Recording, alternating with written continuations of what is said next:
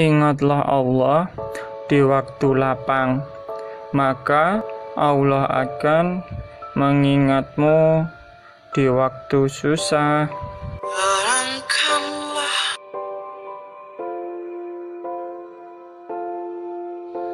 Hidayah adalah milik Allah.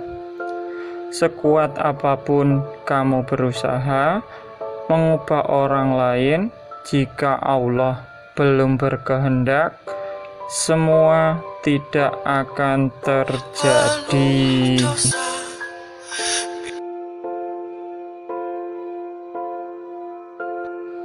Sekuat apa pun perasaanmu pada satu nama, pada akhirnya kamu akan tetap tunduk pada ketetapan Allah.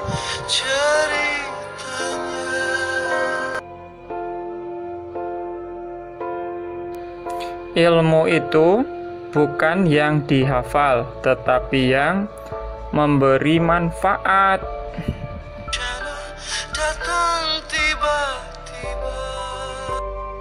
Balas dendam terbaik itu adalah menjadikan dirimu jauh lebih baik.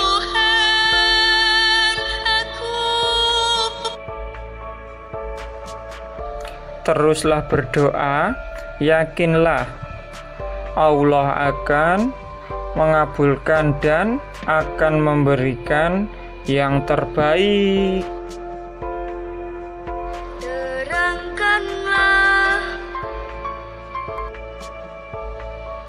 Rasa syukur akan menambahkan nikmat yang sedikit dan akan melipat gandakan sesuatu yang banyak.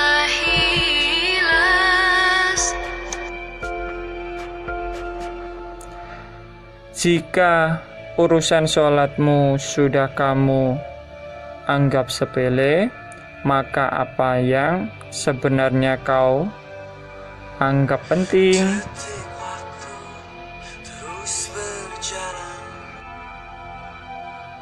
Jangan pernah membandingkan kisah hidupmu dengan kisah mereka yang ada dalam film, karena kisah mereka ditulis oleh penulis naskah, sementara kisahmu ditulis oleh Allah.